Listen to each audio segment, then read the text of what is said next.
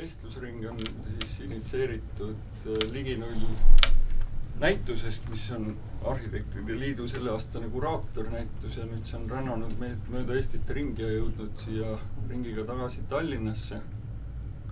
ja siis oli mõte käsitleda seda nagu sellise noh, riigi, riigiga koostöös vaatepunktist seda temaatikat, et ehitatud keskkond energiasääst ja siis ilmselt peakski kohe küsimustikuga pihta hakkama, et äh, esimene võiks olla regiooni puudutav, et kõigepealt äh, nagu Eesti kui selline suhteliselt väike riik ja suhteliselt äh, me pidevalt tõstame kilbile seda, et see on lihtsasti hallatav ja väike ja kompaktne, et äh, siin on lihtne infot koguda, lihtne otsuseid teha ja need jõuavad vahetult üsna ruttu loodusesse.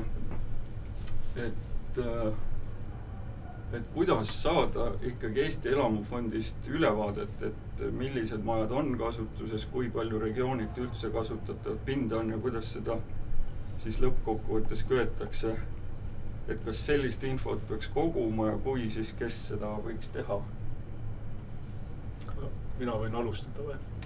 et lepime nii koht, kokku, et ma küll räägin, aga noh, kõik teised segavad et siin kindlasti oleks ja, publik, publik on ka jah, et, et kindlasti oleks mingisugune aruandlus koos. ma enne kui ma veel alustan, ma tahaks äh, natuke selle näituse kohta öelda, ma arvan, ta on ka nagu par, paras koht ja tänada, et äh, näitus on tõesti huvitav. Äh, käisin mina ka need tunnid läbi, pärast vaatasin kaheksakümmend tunni, eks, päris palju informatsiooni oli seal uut. just Jaanus, sina ka mainisid, et päris professionaalselt tehtud asi, eks ju. ja profid teevad. profid, profid teevad jah. ja, ja mis mulle nagu tegelikult eriti meeldis, oli see, et kui me hakkasime, kui sa hakkasid seda näitust tegema, kui arhitekt hakkas näitust tegema, tema suunitlus on natuke teine. me rääkisime rohkem nagu sellest energiatõhususe, kas me teeme niisugusena ja, ja kas siin on mingid vead sees. aga et, et ta kuidagi vist keerdus rohkem pigem and, andis selle, sellele energiatõhususe asjale kaasa, nüüd keeranud hoopiski nagu uuele tasandile see on CO2-le ja selle emissiooni kokkuhoiule ja, ja, ja, ja nõndamoodi, eks mm.. et selles mõttes on, on, tuleb tänada ja Jaanus, kui sa saad pärast veel tänada, täna veel otsa aga nüüd kuhu informatsioon koguda? ma arvan, et see on nüüd esimene asi, mis pähe tuleb, on EHR, ehitusregister. ja me tahamegi teha seda ehitusregistrit niimoodi, et seal olevad andmed oleksid äh, usaldusväärsed, andmed oleks seal kõik olemas ja, ja, ja noh, muidugi turvalised. ehitusregister, meie arenduselt on veel 3D kaksik e-ehituse platvorm, sinna kohta peaksid need andmed hakkama koguma. et äh, see töö on meil päris pikalt käidud, päris pikalt on veel käia, aga meie esimene asi on baas korda teha. seda baasi korda tegema on nüüd enam-vähem valmis. meie visioonid on nüüd ka enam-vähem olemas. me saame reaalselt tegelikult nüüd ehitusregistrit parandama hakata.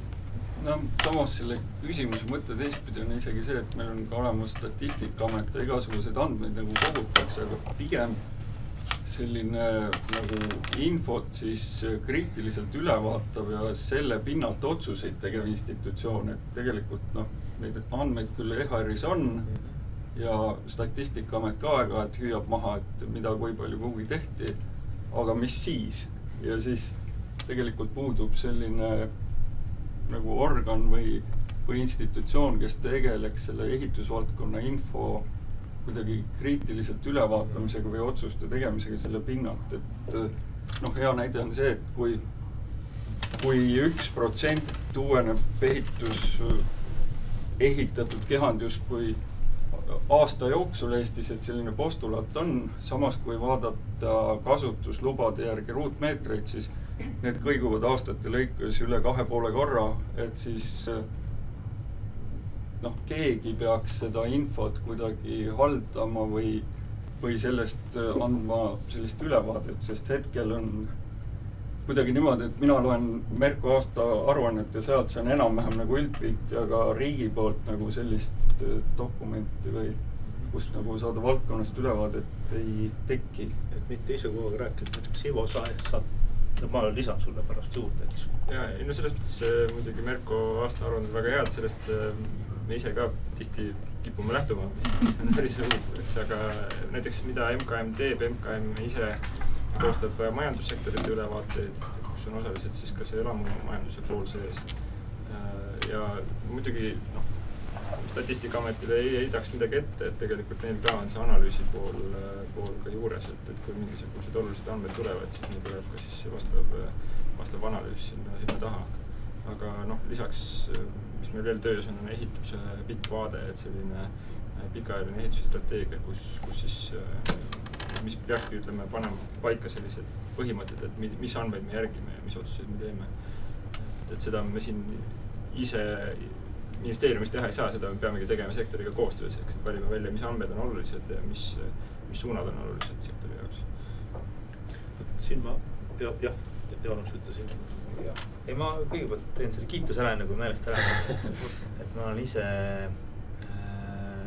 energeetika valdkonnas pikalt tegutsenud ja, ja ka kliimaasjad endale selgeks teinud, et tõesti Äh, ma olen üllatunud, et, et nii professionaalne oli see, sest tõesti, see on väga keeruline valdkond, inimestel läheb aastaid ja aastaid aega, et sinna sisse minna, et tõesti head, head ülevaatlikud joonised ja, ja infokillud. Äh, muidugi päris noh, nii tume ei pea kõik olema, nagu see näitus välja näitab, aga, aga, aga eesmärgi mõttes kindlasti, et kliimaneutraalsus on see, mille poole me hakkame püüdlema tulevikus. Ja sinna kõik need energiatõhususe mm, taastuvenergia ja CO2 vähendamise meetmed ikka peaksid panustama aga, aga selle teema juurde, mina vaatan seda kui noh, mitte ehitussektoris tegelev inimene, et, et kui see, kui Statistikaamet kord kvartalis andmed avaldab, mulle tundub see päris selline juba üsna kiire, et energeetika valdkonnas, kuhu tulevad meile andmed sageli kaheaastase viitega. et meie peame enda valdkonnas tegema otsuseid äh, tahavaatepeegliga, mis näitab kaks aastat selja taha, et, et kui on juba nagu kvartalis tulevad andmed, see on päris kiire statistika ja selle info mõttes, et ma isegi oleks huvitav teada, et mis see kiirus on, et iga päev nagu uued ehitusload või mis, mis sind nagu huvitab? kusjuures ehituslubade koha pealt saabki praktiliselt iga päev ah. juba praegu. et äh, online on äh, jooksvalt, meie oma EHR-i statistika on äh, võimalik vaadata, mis eelmine kuu toimus, eelmine kvartal toimus aasta lõikes. see on kuidagi nagu läinud paremaks siis jah? et ma kunagi neli aastat tagasi pigem võib-olla ma küsiks selles mõttes uuesti, et äh, vot see on nagu jah, tagasivaatepeegel ja selline info, mis peegeldub, et mis juba toimus. aga kui näiteks info ütleb, et äh, kortermaju ehitatakse ainult Tallinnas, Tartus, no või Tallinnas, Tartus, Pärnus. Et äh, kas kuskil keegi peaks mõtlema sel teemal et võiks mujal ka ehitada, kuidas seda oleks võimalik teha, sest noh, mõnes mõttes on see nagu läbi ehituse regionaalpoliitika suunamine, ehk siis mm -hmm. noh, me saame seda infot, et jah, mujal ei ehitata, me paneme selle kirja, aga nagu kriitilist otsust selle suhtes ei teki. tegelikult, Mihkel, ma olen sinuga täitsa päri ja, ja see on üks asi, mis mind ka piinab. et eh, pole olemas seda, mis sa räägid, või pole olemas niisugust head asja ja, ja, ja, ja võib-olla nagu, nagu muretsetakse ka vähem ja on hakatud muretsema, eks ju. et mina nimetan seda nagu kaheks asjaks, mis meie oleme suutelised äh, lahti lööma, nüüd on siis see ehituse pikk vaade, mida me tegelikult oleme ka ligi üheksa kuud ette valmistanud, ma arvasin, et meil läheb see asi käima selle aasta alguses. aga üks asi, mis praegu on aega rohkem võtnud, kui ma oleks lootnud, on see teine asi on üldse kõik need regionaalpoliitilised asjad, mis on õudselt otseselt seotud tegelikult ehitusega, see ongi ehituse, ehitusvaldkond tegelikult. et ehitusvaldkonna esimeses otsas on selle asjade planeerimine, investeeringute planeerimine. ja ei ole veel mina näinud seda dokumenti või dokumendi sündimise otsust, et niisugune asi peaks olema on see siis riiklik elamupoliitika, mis ei ole üldse seotud nüüd see, mis riik teeb, aga kuidas riigis elatakse. või on see siis mingisugune arengukava, mis tähendab äh, kvaliteetset elukeskkonda, mis ei tähenda, et sa elad seal või kus sa käid ja töötad, töötad ja, ja, ja, ja, ja sõidad, eks ju. Äh, ma ütlen, et me oleme nagu see, nende asjade juures, et rääkida sellest, et seda vaja on, aga ma ei näe veel kohta, kus see sünniks. kui midagi nüüd juba nagu, nagu nuusutada on, on see strateegia Eesti kaks null kolm viis, kus on see ühe plokina sisse tul-, tulnud. teine variant, mis võib olla, on MaRe ehk Maa- ja Regionaalamet. aga see tuleb täita just selle sisuga. Kogemata vaatan sulle otsa, eks ju, aga ma olen sinnapoole ka vaadanud. see tuleb, tuleb täita sisuga, mis ta tegema hakkab. ja vot see, selle sisuga täitmise protsess on mulle veel natuke arusaamatu, kuidas ta tekkima hakkab. ma olen nõus, et see peab, peab olema, aga ma ei oska praegu midagi väga julgustavat öelda, et vot järgmine aasta see loeb. aga see peaks olema ju. Ja see on ruum ja see on kvaliteetne ruum ja see, mis arhitektid räägivad, see, mis ehitajad räägivad tegelikult. kui tohib, siis ma jälle, kuna ma otseselt ehitusvaldkonnas sees ei ole, siis mul on hästi lihtne. muide, ma juhin tähelepanu, me pole tutvustanud ennast ei, ei nii-öelda saalile ega ka vaatajatele hakkasime kohe pihta. subtiitrid peale pärast. kuidas te teeme tutvustuse ära või ma? No teeme tutvustuse. no sul läheb meelest ära pärast. ei, küll ta ei ole nii tähtis, kui meelest ära. mina olen Mihkel Tüür, arhitekt ja näituse üks kuraatoritest. Peeter Vere, arhitekt. mina olen Jüri Rass, mina olen MKM ehituse asekantsler. Margus Tali, MKM äh, hoonete energiatõhusus tere kõigile, minu nimi on Jaanus Õiga, olen MKM-i energeetika osakonna juhataja. tere, Ivo Jaanisoo, MKM ehitus- ja elamuosakonna juhataja. Mina olen Tõnis Harjus, Tartu linna arhitekt, arhitektuuri ehitusosakonna juhataja Tartus. mina olen Indrek Võõras, paluti siia omavalitsuse esindama ja tulen Muhu saarelt. mina olen Eik Herman, EKA õppejõud ja üks selle näituse kuraatoritest. jaa, ma hakkasin midagi rääkima mul tuli selle äh, jutu peale meelde, kui me tegime, see aeg, kui me tegime energiamajanduse arengukava ja kus on siiski sees elamumajanduse osa, et äh, kindlasti võib elamumajanduse osa ka täiesti eraldiseisvalt olla, aga mingi otsus see hetk oli, et teeme seda koos energiamajanduse arengukavaga. ja seal oli, mitte ei olnud probleem äh, siis äh, väljaspool Tartut, Tallinnat ja Pärnut ei olnud probleem, et sellest uusi maju ei tehta, vaid et vanad majad on pooltühjad. ja mõistlik oleks neid kokku panna, et võib-olla nagu selle asemel, et rääkida äh, uute ehitusest, võiks rääkida nagu sellist terviklikust kordategemist, nii et võib-olla kaks poolikut maja kolitakse kokku ja siis äh, saaks need kulud ka paika, et väga õige jah, see on hoonete energiatõhususe direktiivis ka välja toodud, et kui üldse mingisugusel jätkusuutlikul äh, nii-öelda el elamispinna taastootmise tasemel oleks, me peaksime rekonstrueerima kuskil kolm protsenti aastas. et tegelikult on see number seal võib-olla null koma viis, null koma kuus Eestis. et äh, eriti suur on see regionaalne erisus. et, et tõenäoliselt mingis, mingid omavalitsused on need, kus äh, protsent on seal null koma null, null, et sellega tuleb tegeleda kindlasti tahtsin alustuseks kommenteerida seda statistika osa, et äh, toetaks Jüri mõtet igal juhul selles mõttes, et kui meil on olemas äh, olemasolev struktuur ja mehhanism, siis tegelikult tuleb seda tugevdada. täna ta ilmselgelt statistika mõttes ei tööta hästi. noh, omavalitsuse töötajana ma saan sellest aru, ilmselt te saate sellest ka aru äh,. Aga olukorras, kus ta lõpuks hakkab tööle, tänases nutimaailmas võiks eeldada, et ta ka hakkab tööle uute rakendustega, siis tegelikult on igal asutusel võimalik seda vajalikku infot sealt välja võtta. olgu ta siis omavalitsus, riik, statistikaamet, mõni ministeerium, mis iganes või kodanik ise, eks äh,. aga selleks tuleb andmed korda saada ja välja võtta, võimalus sinna luua ka. ja kui sa nüüd küsid, et kuidas seda rakendada, noh, siis on kahtlemata, siin on äh, laiem tõesti regionaalne probleem. haldusreform, ma ütleks, oli poolik, noh, kui me võtame Tartu näite, mida mul on lihtne võtta, siis äh, Tartu ajaloolisele tuumikule tuli juurde üks, üks selline, üks vallake. kui enne me räägime, et Tartu oli selline ilus südamekujuline, siis noh, nüüd ta on muutunud siukseks välja venitatud jämesoolekujuliseks aga, aga kui me mõtleme nüüd äh, linnade toimimise peale, siis äh, kahtlemata me peame vaatama regiooni tervikuna ja sinna jääb veel kolm-neli valda sinna tervikusse. ja kahtlemata, kui me räägime ka uutest hoonetest, siis me vajame eelkõige ressursside õigesse, õigete suunamiste puhul ja liikuvuse puhul äh, me vajame suunatud arengut. aga valdade vahel, linnade ja valdade vahel toimub teki läbimine, me teame seda kõik. meil puudub tegelikult äh, võimekus maakonna planeeringute tasandil seda arengut äh, jätkusuutlikult õigesse auku suunata. ehk siis kindlasti see haldusreformi edasiviimine, ma arvan, on üks teema tegelikult, et me räägime loogilistest regioonidest, mis on siis ka sidusad liikluse mõttes ja kus me suudame tõesti siis hästi nutikalt ka oma arenguid suunata uute hoonete puhul. aga muidu loomulikult see, mis Jaanus ütleb, on õige selles mõttes, et äh, Eesti populatsioon ei kasva väiksemates kohtades, ta kahtlemata kahaneb, kui nad õnnestub enam-vähem stabiilsena hoida, me oleme õnnestunud. ja olukorras, kus äh, rahvastik kahaneb või püsib sama, seda tähtsam on meil hoida ajaloolisi tuumikuid kohtadel, küladel, linnadel. oluline hoida oma pärandit, ajaloolisi hooneid ja väärtusi, inimesi koos hoida. Äh, ja sellises olukorras anda nüüd avaraid võimalusi sinna uute hoonete rajamiseks, mis ka majanduslikult on mõistlik, ei ole õige. aga see vajab päris suuri otsuseid ja koostööd riiklikul tasandil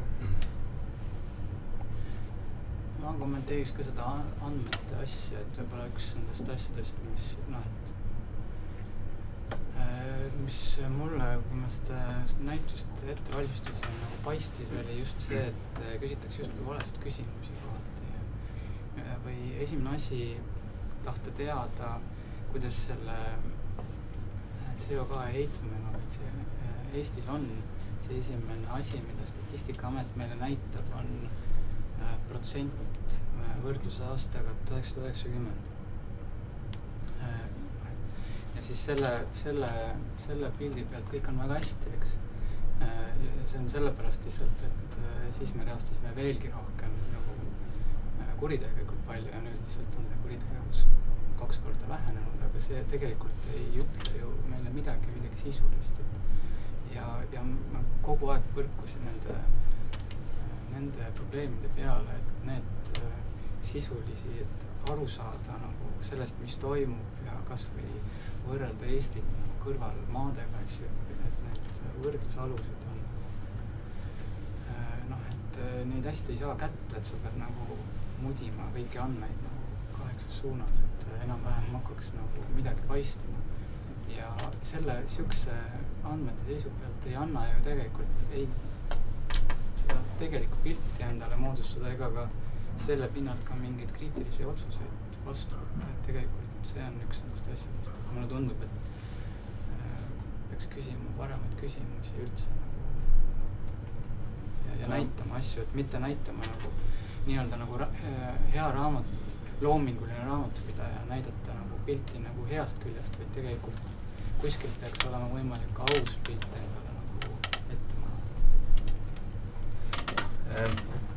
kaks, kaks-kolm äh, repliiki CO2 andmete teemal. sellest ma ütlesingi, et siin sellest valdkonnast ongi keeruline ülevaadet saada, et ma olen ise kõik need teed läbi käinud, et, et kuskil Keskkonnaministeeriumi kodulehel on, on sadade lehekülgede kaupa aruandeid, kus on kõik kirjas, kuidas seda arvutatakse ja mis need tulemused on. Äh, Eesti Statistikaamet võib-olla ei ole kõige koht, kus vaadata, et ma arvan, Eurostati andmetabelid on paremad. sest äh, noh, see on teatud põhjusel, sest Eesti statistika näitab vähem andmeid kui Eurostat ja võrdluse saad ka Eurostatist kätte. miks üheksa, tuhat üheksasada üheksakümmend, see on see, kus need rahvusvahelised kliimalepped hakkasid pihta. jah, et ma ütlengi, et aga nüüd Euroopa Liit on võtnud eraldi eesmärgid võrreldes kahe tuhande viienda aastaga, mis on juba nagu palju madalam, meil palju keerulisem saavutada. ja, ja ega keegi ei olegi öelnud, et Eesti on jäänud seisma selle miinus viiekümne peale. miinus viiskümmend tubli, üsna lihtsasti käis, üheksakümmend kaks, kolm olime juba kätte saanud selle. aga majandus on vahepeal kasvanud, et kui nüüd see juurde panna et arvestades meie majanduskasvu ja seda, et meie CO2 mahukus ei ole selle võrra järgi tulnud nii palju, siis me oleme üsna tublid, tublid olnud. aga jah, kaks tuhat kolmkümmend, nelikümmend, viiskümmend me peame veel alla tulema. nüüd on Euroopa Liidus suund kliimaneutraalsuse poole kaks tuhat viiskümmend ja sinnapoole me ka sihime. et, et seda, et me jääme samale tasemele, seda nagunii ei ole. juba see aasta on tulnud CO2 emissioon oluliselt alla. seda me näeme alles kahe aasta pärast. no võib-olla ongi natuke küsimus selles, et ilmselt ma olen ka nõus, et andmed on kusagil olemas, kõik me ei peagi teadma, eks, et kust midagi otsima, no kas arhitekt ongi kohustatud minema vaatama, mis suures pildis, muidugi hea meelega vaatan, eks. pigem mind, ma, ma tunnen muret selle üle, et, et ei ole, ei ole niisugust institutsiooni, kes seda tegema hakkaks ja tege- ja, ja, ja küll ta need andmed kõik igalt poolt üles leiaks, eks ju, see on see asi, mis nagu puudu on. millega tuleks tegeleda, hea küll, ütleb puudu on, aga hakkame sellega tegelema jah, siit tegelikult ongi hea üle minna järgmise küsimuse juurde, et me alguses äh, tõdesime mõnes mõttes seda, et äh, et see ehituse pikem vaade on nagu puudu, aga seda oleks nagu vaja ühelt poolt. et siis äh, millele me julgeme tugineda, kui me väidame, et selle energiate tõhusate hoonete direktiivi see energiatõhususmäär või energia kasutamise määr äh, erinevate hoonetele, et me oleme selle taseme õigesti valinud vastavalt sellele olemasolevale elamufondile ja vastavalt sellisele tavaehituspraktikale. et, et mis on see analüüsi baas, millele me tugineme? selle aluseks on kulu optimaalsuse arvutused, mis on, on läbi viidud kõigis liikmesriikides vastavalt äh, Euroopa Komisjoni poolt määratud metoodikale ja, ja Eestis konkreetselt selle analüüsi on teostanud TTÜ Ligi nullenergia hoonete uurimisrühm. et äh, koostöös, äh, koostöös mitmete ehitusettevõtjatega see käis, kus siis tulid nagu reaalsed hinnapakkumised reaalsetele konstruktsioonidele ja, ja siis olemasolevate hoonete puhul võeti ütleme küllaltki palju Eesti hoonefondist on ju üsna nagu tüüpsete projektide alusel, et võeti need tüüpprojektid ja lähtuti nendest, et kuidas neid energia tõhustada. aga küsimus oli vist ka selles, eks ju, et ma ei tea, kas need lähteandmed on siis äh, tõesed. ja ma mõtlen, et miks ta ei peaks olema, kui osalesid noh, needsamad ehitusfirmad, eks ju, arhitektid või insenerid, eks et äh, nendel vaevalt äh, sai olla niisugune eesmärk, et nad midagi ilustavad. reaalsed asjad. seal on kuidagi jah, see jäänud nagu lahtiseks, et ühelt poolt, kui, kui neid andmeid nagu otsida sellest äh, aruandest, siis neid sealt ei leia ja need algandmed on kuidagi noh, pilvedena graafikul kujutatud, aga selgelt see analüüs, et millist analüüsi tehti, see on tegelikult tänaseni puudu või, või noh, et see ei ole kuidagi avalikkuseni jõudnud. ja teistpidi Ehitusettevõtete Liit, kes, kes nagu väidab, et see hinna kallinemine võib olla suurusjärk teises astmes üldse, et needsamad ettevõtted justkui teistpidi ehitajatena, kellelt justkui need pakkumised võeti, oleks ka huvitatud, et neid pakkumisi ise vaadata, et see kuidagi on läinud selliseks huvitavaks ringiks, et ühelt poolt ehitajad ütlevad, et nad ei usu seda mis äh, tugineb nagu justkui nende enda algandmetele. aga nüüd oleks vaja see kotermann sealt kuidagi välja saada selliselt, et, et algandmed, mis justkui ehitajatelt on tulnud, et need kuskilt välja tuleks. no ma arvan ka, et ei maksaks rääkida sellest võimalikust kotermannist, kes sinna midagi salaja on sisse pannud uuesti. ilmselt tuleb see uuesti, tuleb ka lahti rääkida, et kel huvi on, ma arvan, et kui minna TTÜ-sse need andmed välja saada, siis kindlasti Jarek Kornitsk oli selle töö tegija, eks ju. annab need asjad kätte, ma, ma, ma, ma, ma siiralt ei usu, et see üldse midagi on olemas, sest lõppude lõpuks tegid inimesed iseendale seda asja. Muidugi sa küsid, et kus koha peal see punkt pandi, et kui sa pead nimetama, valima mäetippu, kus sa siin oled, eks keegi pidi mingisuguse otsuse tegema, et see mäetipp on vot siin või siin või siin. et see võib erineda seal pool otsuse punkti oma, omavahel, eks ju. mis ma ise olen natukene täheldanud, aga teie, ma olen ehitussektorist sutt-sutt eemal, kuigi ma ilmselt tunnetan seda asja, eks ju. Te olete ehitussektoris rohkem sees. Et äh, ma tunnen, et kisa ei ole enam nii suur. et see asi on, äh, asi on vastu võetud.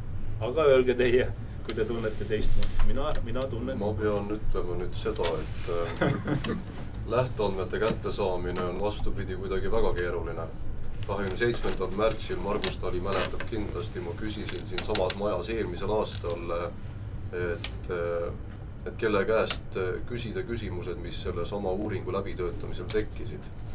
ja, ja Kalle Kuusk KredExist too hetk võttis selle siis enda peale, ütles jah, et, et saatku ma talle ja, ja ta korraldab vastused.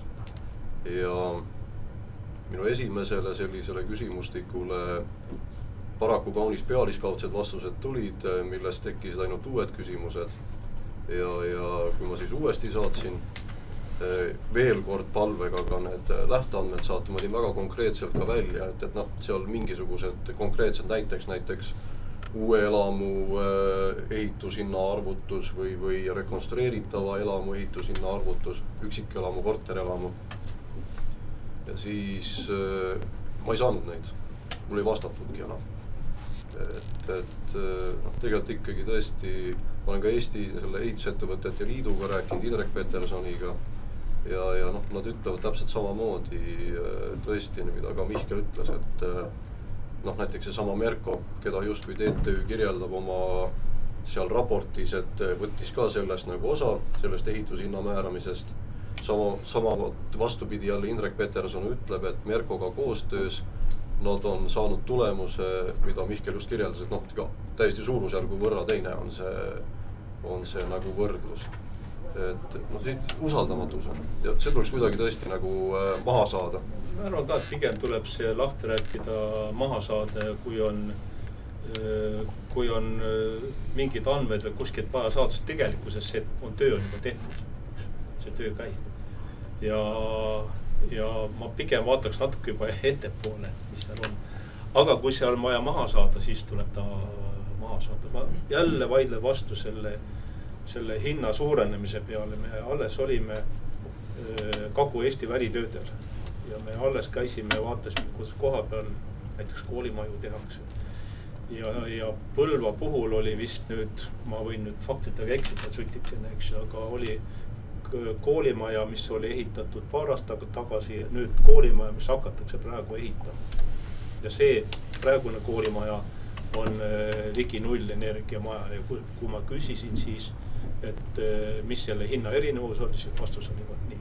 ma näitan nüüd korrektselt seda, eks ju, null ah, ja, ja hinnad olid tõesti niimoodi, et need eelmiste koolimajade ruudu maksumused olid midagi tuhat kaks, tuhat, tuhat kakssada seitsekümmend tuhat, seal tuhat, tuhat kakssada viiskümmend ja see uus ligi null oli tuhat kolmsada. küsisin, milles siis see nüüd mitte suurenemine on, ta ütles, et lihtsalt kogemus on jõudu toonud.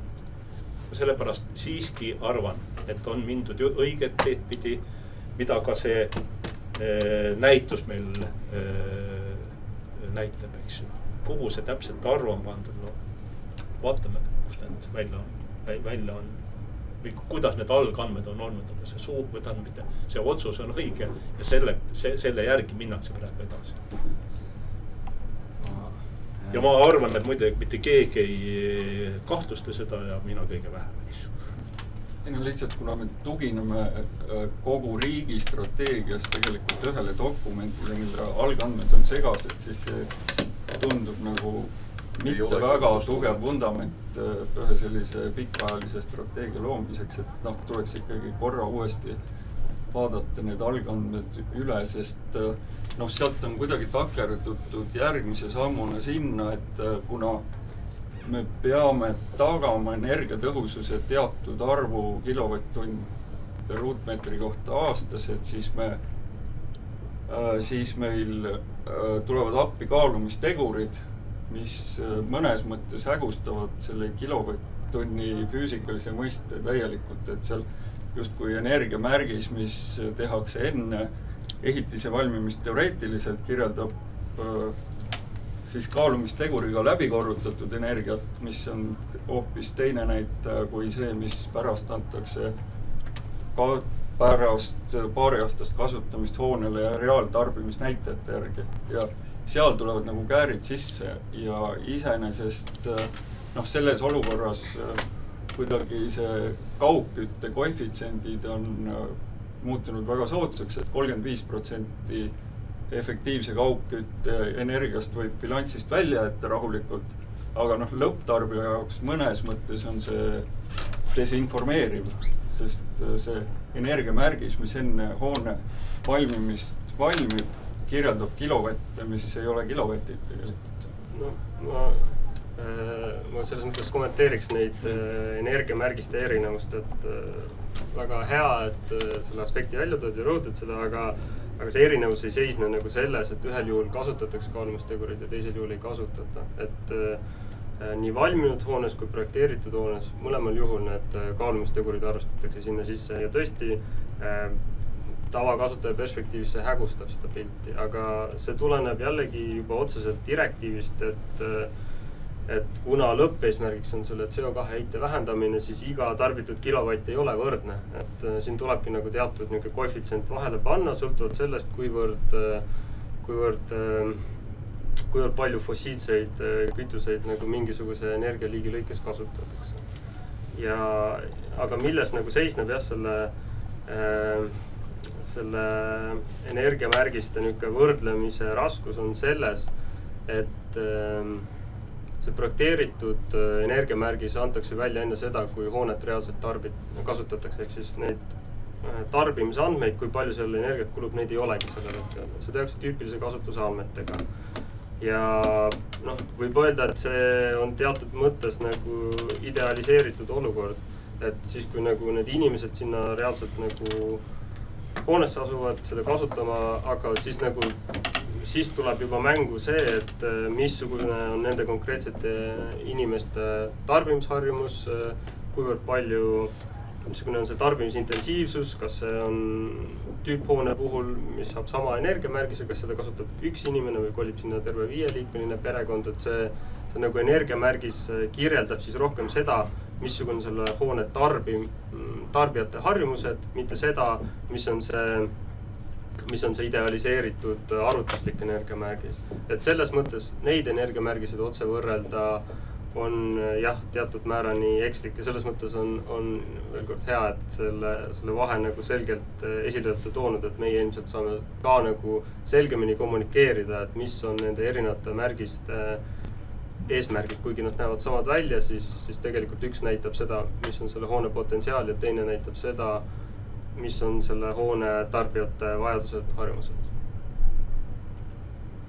võib-olla kolmandaks siis peaks olema ka see hoone tegelik, eks ju, tõhusus ja mittetõhusus, eks ju, mis, mille puhul noh, et peaks olema kuskil see number ka, et äh, unustame korraks need tegurid ära ja teame, palju, mis on see nii-öelda see summa, mis või mis on see energia hulk, mis tegelikult see hoone tarbib, et see annaks nagu tagasisidet ka muuhulgas arhitektile et ta saaks aru, et millal, millised otsused nagu, millistele otsustele millised tagajärjed no siit võibki võib-olla minna üle järgmise teema juurde, mis on hoonete energia kasutamine, energia tootmine, et siin äh, selles mõttes, et äh, kui me tegime selle näituse raames koostööd Ligi nullenergia laboriga TTÜ-st, kus on selle teemaga pikka aega tegeletud, siis suuresti nagu kokkuvõte selle äh, ligi null energiahoone suhtes oli selline, et me saame passiivsete meetoditega hoonel. et kui me kasutame passiivseid meetodeid, siis saame kätte B-klassi. et B-klass on saavutatav ja A-klassi jaoks me peame hakkama krundil energiat tootma ühel või teisel viisil et seda A-klassi saavutada tava, tavahoone puhul on suhteliselt keerukas ilma krundil energia tootmiseta. ja siis nüüd on küsimus, et kas või et kuidas üldse sellist energia tootmist käsitleda, et kas saab teha energiaühistuid või küla peale teha ühe sellise keskse energia tootmisühiku või noh, selles mõttes, et see äh, täna meil äh, see reglement ju käsitleb krunti kui autonoomset üksust ja see energia tootmine peab toimuma krundi piires ehk siis kinnistu piires. Et kas on seda mõtet ka, et see võiks kuidagi olla laiemalt vaadeldud regioonipõhiselt või, või küsin nüüd Markuse käest, aga nii palju, kui mina mäletan, seal, seal on niisugune punkt, et see ei ole küll seotud ainult ühe selle krundiga, vaid võib koopereeruda krundid omavahel, et just ei olekski, et sa nii-öelda auto, autonoomselt oma krundi peal võid teha, aga noh, kas neli, kuus või ma ei tea, terve väike linnaosa teevad endal, ma ei tea, oskad sa kommenteerida, minu meelest see on niimoodi. no pigem jah, on sisse toodud see lähiümbruse mõiste, et see ei pea olema tõesti täna enam ainult krundi piires, et varem oli selgelt piiratud tõesti krundiga. nüüd on, nüüd on toodud ka see võimalus, et seda lokaalset taastuvenergiat toodetakse lähiümbruses. see lähiümbrus on siis noh, seda saab siis mõtestada lahti vastavalt nagu kontekstil, et maal võib see tähendada ühte asja ja linnas võib see tähendada teist asja. ma küsiks, et mis Nõmmel on lähiümbrus? Kust me saame naaber ülenaaber krundi? no isegi siis ma küsin, kus koha peal Nõmmel, eks ole. et, et ilmselt tuleb vaadata krund krundi haaval ja asupaik asupaiga haaval, et kuidas, kuidas siis mõistlik on, aga see asi on, on siis äh, olemas ja võimalik. see on muidugi. kuidas see realistlikult rakenduks? no ma ütlen, me praegu räägime teoreetiliselt, eks ju, aga no nelja maja peale. Sellepärast ma küsingi. nelja maja peale tehakse üks, on ta siis äh, maasoojuspump või, või, või päikese, päikeseelement, eks ju. ja Margus tõi väga õigesti välja, et noh, täiesti, täiesti erinev on olukord hajaasustus ja tiheasustuspiirkonnas. et ilmselt, kui me Tõnisega seda arutaksime, me räägiksime täiesti erinevatest asjadest. no ilmselt küll, aga, aga on võimalik arutada väljamõjud. et see on selle määruse asi, me ei pane mitte midagi kinni, vaid see ongi võimalik teha neid asju. seal tunni peal oli hästi kihvt pilt, ma peaks ütlema, et see peabki nii olema. seal oli sihuke pilt, kus oli tehtud klaasist maja ja hästi palju neid päikeseenergiat.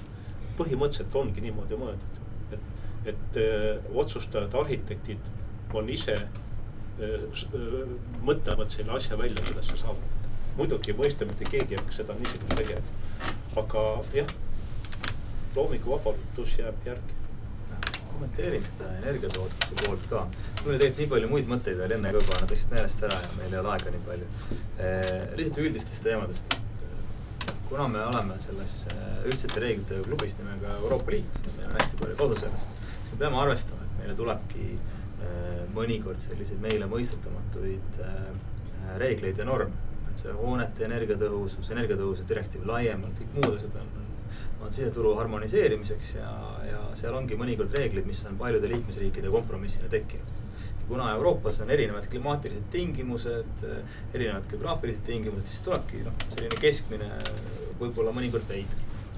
selle jaoks ongi jäetud see otsustusruum, ehk siis ongi selline lähiümbrus see ongi õige, et see on erinevates piirkondades erinev, et, Tallinna kesklinnas noh, kui te, kuhu sa need päiksepaneelid paned, et seal, seal ongi see kaugküte on see viis, kuidas saavutada seda ligi nullenergia hoonet, selle tõttu ongi need ka- kaalumistegurid pandud sisse. kaugküte ongi väga efektiivne, mitte hajaasustuses, aga Tallinna kesklinnas kindlasti. samamoodi hajapiirkonnas hakata seal nagu iga väikse eh, maja juurde, mis on väikse tarbimisega vedama kaugküttetoru, see on meeletult raiskav, ma olen teinud erinevaid kaugküttepiirkondade analüüse nii tiheasustuses kui hajaasustuses, et, et noh, enamasti on soovitus, et likvideerida need äh, väikse tarbimisega piirkonnad ära ja minna lokaalsele tootmisele. elektri puhul on, on see lähiümbrus äh, näiteks otseliiniga ühendatavus.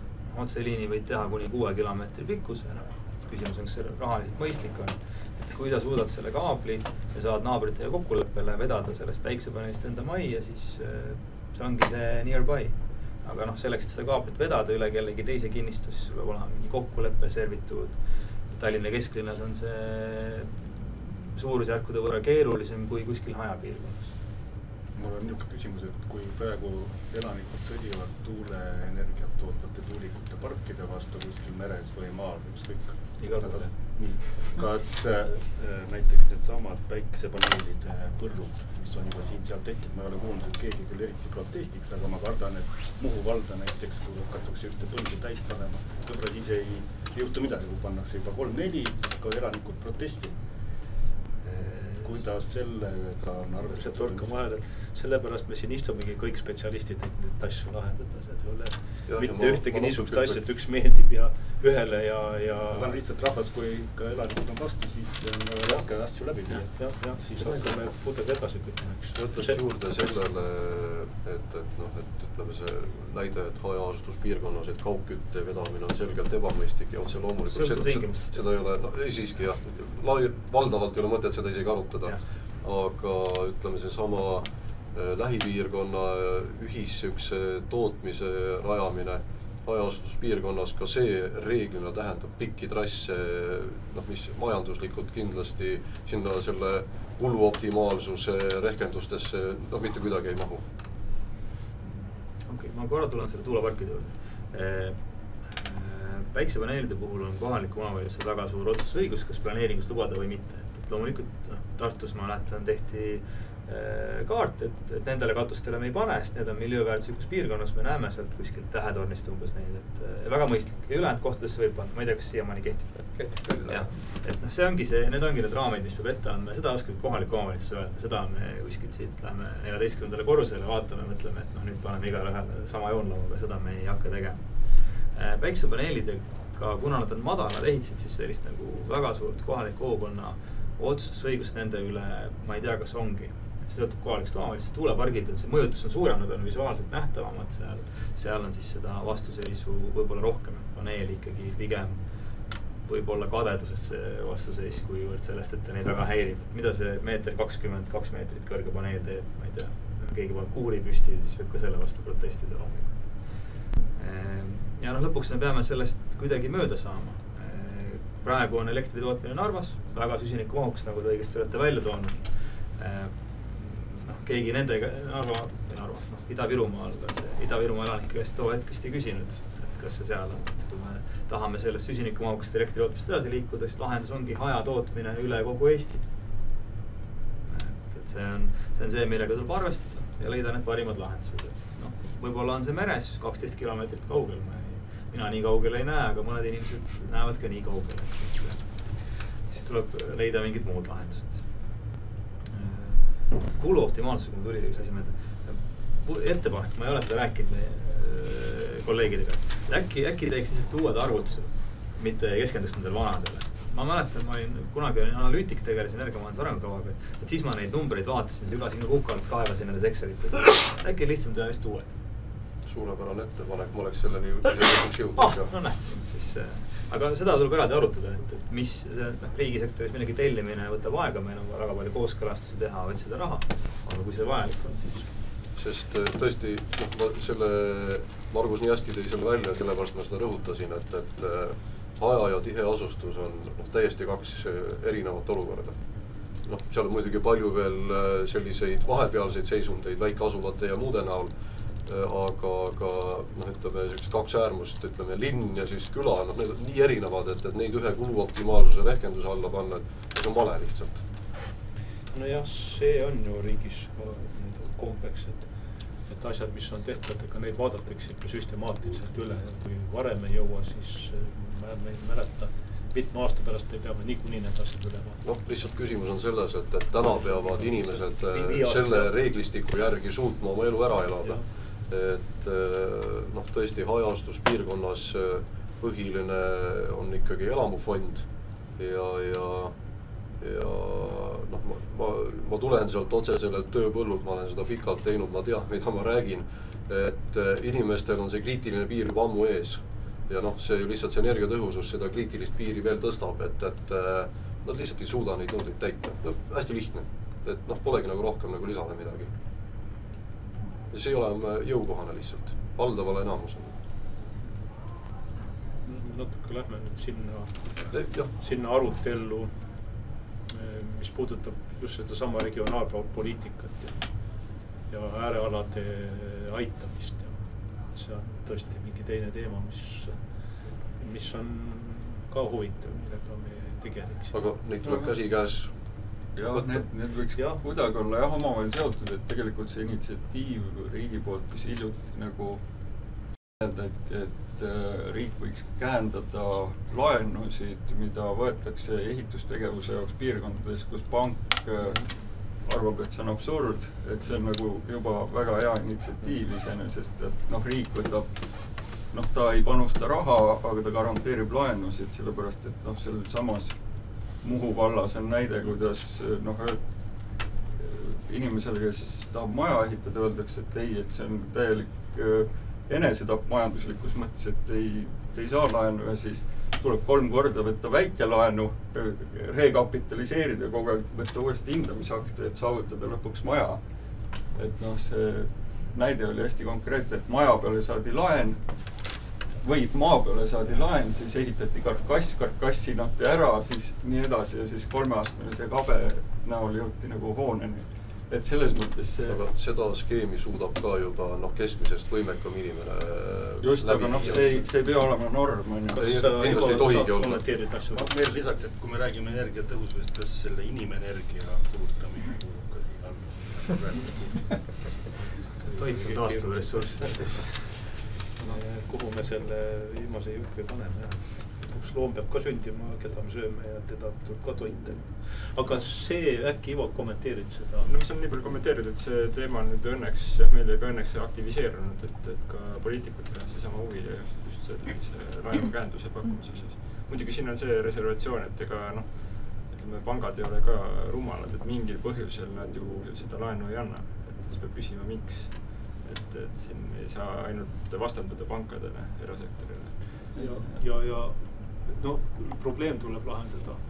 pankade puhul pidavat olema ka väikene seaduse öö, nõks ees, eks ju, et nad ei saaks seda teha. et siin on öö, koht, kus saab riik aidata, aga tõesti, nagu sa ise ütlesid, et me oleme hakanud tegelema asjaga.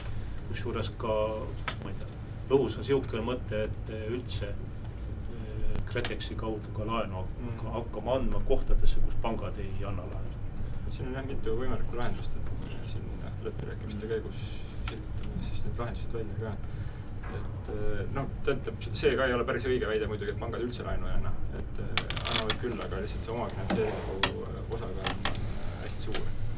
et, nüüd peaks olema just noh, küsimus see, et kuidas see omafinantseeringu osa väiksemaks saada. no kuigi no nüüd küsitav on ka see, et kas see, et omafinantseering täiesti nulli viia, et kas see on vastutustundlik. inimene millegagi ei vastuta tuleks üldiselt tagasi selle CO2 teema juurde, et äh, mille kaudu me vaatasime selle näitust tehes, sai neid teemasid nagu tõlkida ja üksteiseks üle viia, sest noh, see on nii haruline, haruline hüdrapea, et äh, see kipub kogu aeg käest ära minema ja, ja noh, see teemade ring läheb nii hajevile, et siis selle CO2 kaudu iseenesest see, mis me kulutame hoone kütmiseks, jahutamiseks, haldamiseks ja pirni põletamiseks, et see on suhteliselt kontrolli all ja see on nagu niisugune Euroopa tipptase, isegi Soomest parem paberil, aga aga teine teema, kus tegelikult CO2 heide on päris suur ehitamisel, on materjalis endas kätketud see CO2, millega me täna tegelikult üldse ei tegele. ja küsimus on võib-olla see, no natuke ettevaatav või tulevikku vaatav, et kui me kui me analüüsi tegime sellest hoone elukaarest, et äh, kui palju on CO2 heide seal küttekuludest versus ehitamine, siis ehituse osakaal oli väga suur. Eestis? jah, Eestis, et selle äh, küsimus, et kas riiklikult peaks mõnes mõttes nagu analüüsima või et noh, et kas see analüüs võiks olla sellise ehitamise tavapraktika osa, et äh, meil oleks kuidagi äh, ehitusmaterjalide maksustamine seotud CO2 heitega, mis on selle ühe kuubi tegemiseks kulunud või, või pigem see on nagu utoopiline tulevik? täpsustaks tegelikult, et vastu, ma ütlesin vastupidi, et tegelikult nagu Eestis on äh, see, mis jät-, järgneb hoone vastuvõtmisele on väga suur, sest elekter on hästi aga kohe, kui justkui kujutleda ennast sellesse rohelise elektri olukorda, siis äh, olukord muutub niimoodi, et see, mis on nagu materjalidesse kätketud heide, et see muutub väga suureks, et see on juba praegu Rootsis, Norras nii ja sellepärast nemad juba praegu kinnitavad väga suurt tähelepanu sellele, et mis, mis, mis materjalidest me ehitame. ja mis toimub ehitusplatsil ja mis toimub pärast äh, hoone lammutamist ja ja mingis mõttes me praegu võime öelda, et see ei puuduta meid, eks ju, sellepärast et meil on see juba, see elekter on sedavõrd äh, reostav. aga tegelikult, kui arvestada, et äh, majad ehitatakse tihtipeale ikkagi päris mitmekümneks aastaks, ja kui me räägime juba aastaks, ma ei tea, kolmkümmend viis, nelikümmend, viiskümmend selleks, et, et me, et see elekter meil ka nagu muutub rohelisemaks, et siis, siis juba seal, juba seal on, noh, et majad on juba ehitatud äh, kakskümmend aastat, kui me selleni, kui me ehitame maju ikka veel vanaviisi, siis, siis, siis justkui tagantjärele tuleb see probleem meile, meile tagasi, et me, me oleme väga heitmerikkalt ehitanud, heitmerikatest materjalidest ehitanud. et, et kas on plaan midagi selles osas see on, see on väga hea täpsustus, et selles mõttes mul äh, ka pikka aega tekitas küsimusi, et kus, kuidas teie jaoks see suhe on niipidi paika läinud et, kaheksakümmend protsenti on materjalides, kakskümmend protsenti on nagu hoone kasutuses, et praegu kindlasti see olukord Eestis on pigem nagu teistpidine, et ähm, aga kui te vaatate selles äh, punktis ette, siis, siis tõesti ja selles mõttes on jah, need äh, Skandinaavias juba tõesti tegeletakse väga palju selle CO2 teemaga seoses ehitusmaterjalidega, et äh, ja ma, ma ütleks, et äh, see on väga nagu loogiline samm, kuhu edasi minna ka Eestis, aga noh, võib-olla siis nagu tuletaks meelde, et, et jällegi see enne, enne seda, kui tulenevalt hoonete energiatõhususe direktiivist äh, Eestis ei olnudki energiatõusu nõudeid hoonetele, et see on nagu väga noor valdkond siin kümme, kümmekond aastat, et, et anname veidi aega nagu atra seada, et see on nagu jah, niisugune loomulik suund, kuhu edasi liikuda, aga, aga lahendame siis enne need küsimused ära, et kas meil need ligi nullenergia hoone nõuded on ikkagi kuluoptimaalsed või, või on need, või on need üle jõu käivad ja siis, siis sealt edasi läheme sinna no samas neid vist ei saa hästi või noh, mulle tundub, et neid asju peaks nagu mõtlema koos, et eks, et äh, noh, äh, kuidas noh, meil on see, mis puudutab näiteks seda puidu laiemat temaatikat, eks ju, et kas ta on meil see asi, mis äh, maandub selle nimetuse biomass alla, mida me siis lihtsalt kulutame ära justkui seda puidu enda potentsiaali nagu madaldades või me kuidagi hakkame ka mõtlema Eestist kui maast, mis nagu ikkagi tegeleb puidu väärindamisega ja, ja ka kuidagi suundub selles suunas, et see, et seda juba kasvatatakse nii, et ta pigem oleks nagu äh, väärindatud, eks. et äh, need ei ole äh, otseselt omavahel vastuolus, aga seal on omad ohud, eks ju, et kui, kui, kui liiga palju eeldada, et me kütame näiteks puiduga, et siis me ühel hetkel oleme olukorras, kus meil enam seda äh, madala kvaliteedilist puitu ei ole, mida, millega kütta, et siis, me oleme selle olukorra ees. mulle tundub, et tegelikult selle otsuse hakata suunama nagu ehitussektorit rohkem puidu kasutamise või mis iganes nagu taastuvmaterjalide kasutamise suunas peaks juba tegelikult üsna ruttu tegema. Et, mitte sellega viivitada ilmselt see ole ka ainult täiendavate maksude ja, ja muude selliste regulatsioonide loomine antud olukorras, laiema visiooni loomine. ja visiooni loomas ma tegelikult näen, et on päris palju lähimate aastatega muutunud. keskkonnamaja temaatika, eks, kus on seda väga oluliseks peetud, meie Tartus räägime uuest kultuurikeskusest, mis peaks olema siis uus kunstimuuseum, raamatukogu ja, ja juba tuleb noh, poliitikutel endal suust automaatselt, et see peab olema ka süsiniku äh, säästev ja puidust ehitatud, mis on meie kohalik toore. et äh, selles mõttes on visiooni seadmine tegelikult võib-olla isegi veel tähtsam ja sellisel juhul tulevad järgi ka vajalikud regulatsioonid tagantjärele. ja teine variant, ma mõtlen, et on äh, ju see, et süsinikumahukus tootmine ise muutub üha kallimaks. see kajastub lõpuks ju ka materjali hinnas ja need käärid, mis täna on, hakkavad tasapisi muutuma. CO2 teemadel laiemalt. kuigi suvel tähele panin, siis Vabariigi Valitsus moodustas enda juurde kliima- ja energiakomisjoni, mis just tegelebki nende küsimustega ja ma võin etteruttavalt öelda, et järgmise seitsme-kaheksa kuu jooksul käivad erinevad ministeeriumid erinevaid lahendusi pakkumas, kuidas Eesti jõuaks kliimaneutraalsuseni. meetmed ja, ja ma arvan, et üks meede kindlasti on ka meie kohaliku puiduressursi suurem väärindamine ja, ja see on täiesti õige, et kui me paneme selle puidu majja, siis see puidust salvestunud süsinik on seal aastakümneid. olenevalt maja kvaliteedist võib seal isegi kuni sada aastat olla. ehk siis see on kindlasti soositud tegevus, aga, aga noh, need on need step by step ja, ja ütleme, energeetikas kasutatakse ikkagi jääke ja madala kvaliteedist puitu, mida alati nagu metsas on, et eks kui ta läheb kallimaks, keegi ei jõua ahju osta puitu, mis läheb nagu mööblitööstusesse või, või, või ma ei tea, millest tehakse midagi muud.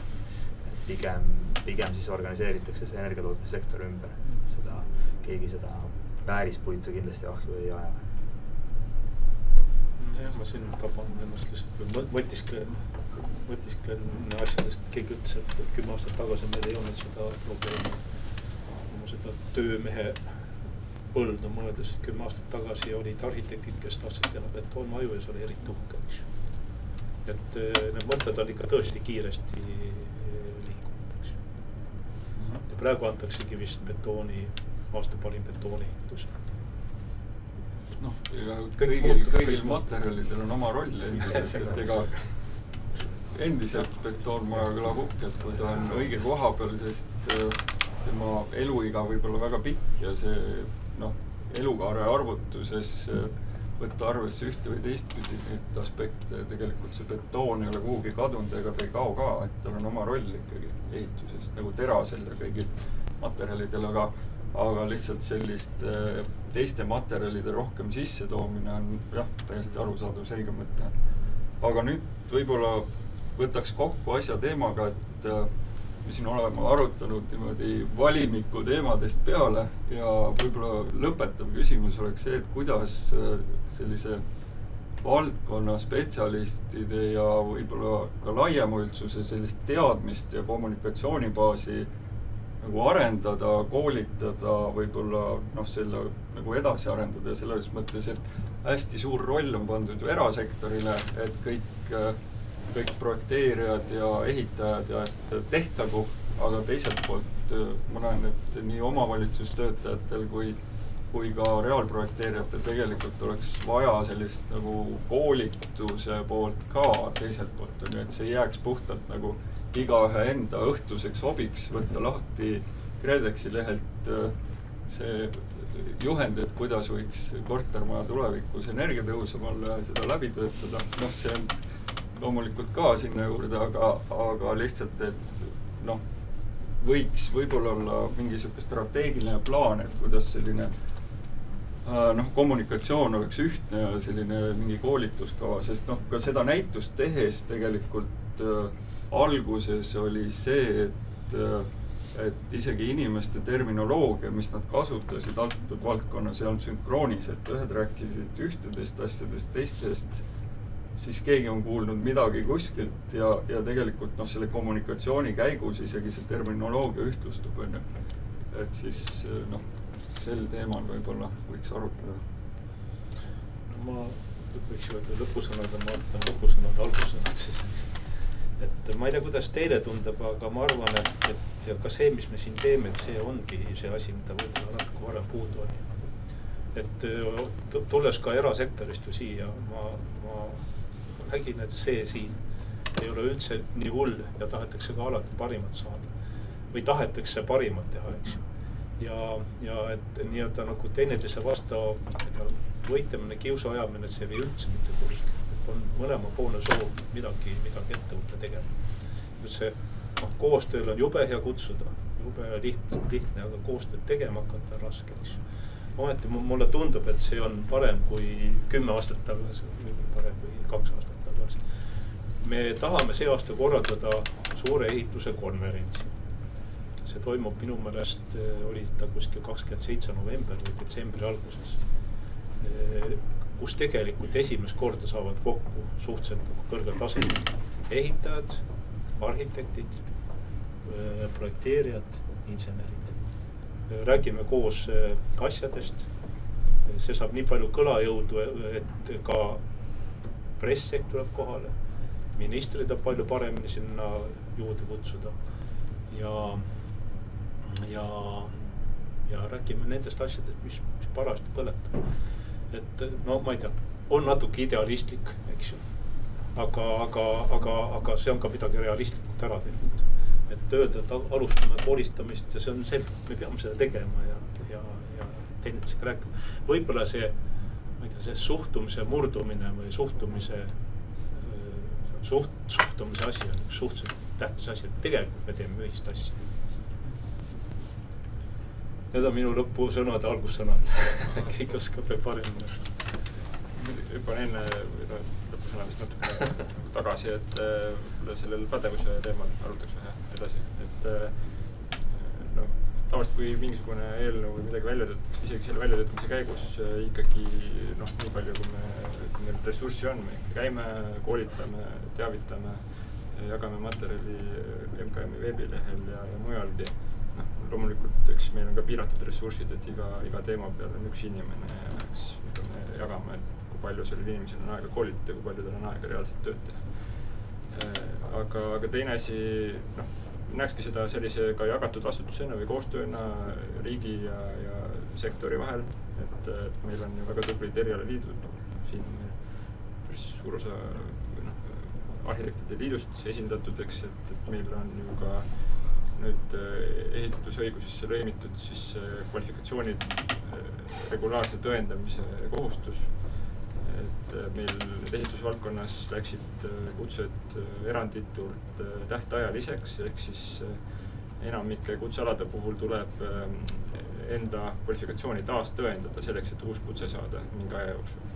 Ma usun, inseneridel siin toimub, ma usun, et arhitektidel ka, et pidevalt tuleb ennast koolitada, saada ainepunkte näidata referentse ette, et, et siis uus kutse saada. et see ongi selleks ju loodud, et või põhjusel, et ehitusvaldkond areneb niivõrd kiiresti, kiiremini kui kunagi varem. et meil on uued energiatõhususe nõuded, meil on digitaliseerimine, meil on igasugused muud uued tehnoloogilised lahendused, et et see ongi see põhjus ja see ongi see võimalus, kuidas me jõuame kõikide eriala, eriala inimesteni kõige aktuaalsema info, infoga.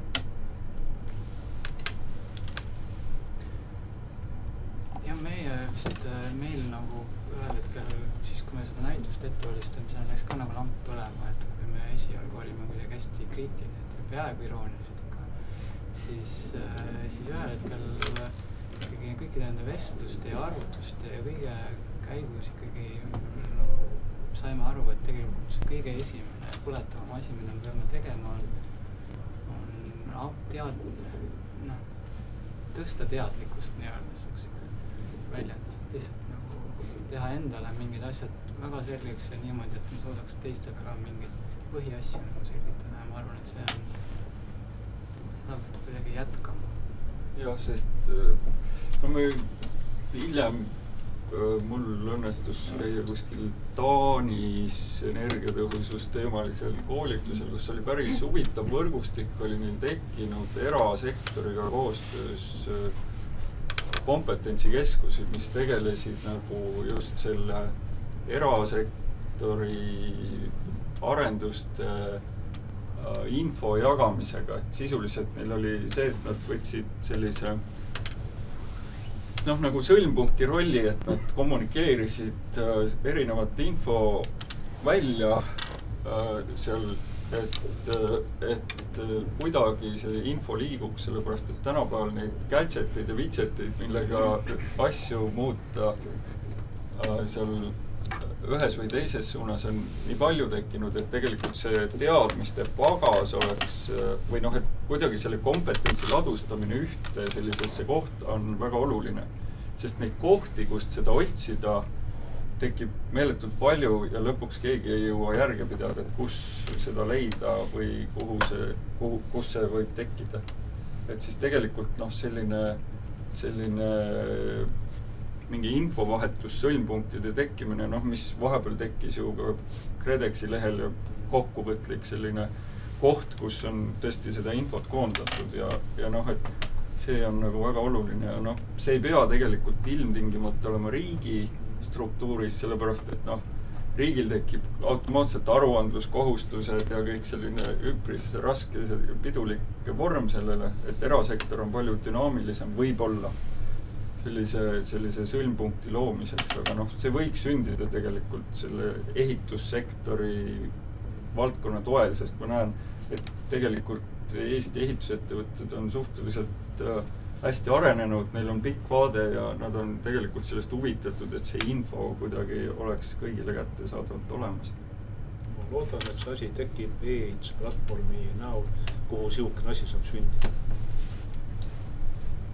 üks asi võib-olla veel, mis mul tuleb meelde, on äh, kunagine mingi siukene anekdootlik lugu selle kohta, et kuidas ehitusel, mingite majade ehitamisel läks valesti nii, et see elektrikapp sattus nagu valesse kohta, niimoodi sattus otse esikusse. et sa nägid, sa astud sisse ja sa nägid, kui palju sa kulutasid elektrit ja miskipärast nagu juhtus nii, et need majad, elamusid kasutasid, kulutasid vähem. kulutasid, noh, et kuna nad teadvustasid seda, et palju läheb, siis nad kulutasid vähem, et see on nagu võib-olla üks nendest asjadest, mida peaks kuidagi tegema, on see, et kuidagi siis et kuskilt nagu tekiks see niisugune nii otsene ja vahetu tagasiside sellele, et kui palju meil praegu nende kasvõi heitmetega lugu on. et selles mõttes võib-olla see on natukene nagu, et võib-olla ei oleks hea, ei ole hea, kui me peame kuhugi andmetihnikusse nagu sukelduma selle jaoks, et kõige lihtsamaid andmeid nagu kätte saada, et see võiks kuidagi olla vahetum ja selgem.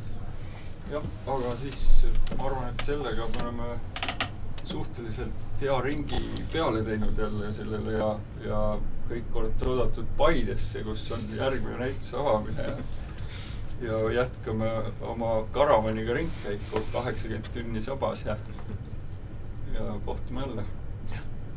aitäh. aitäh.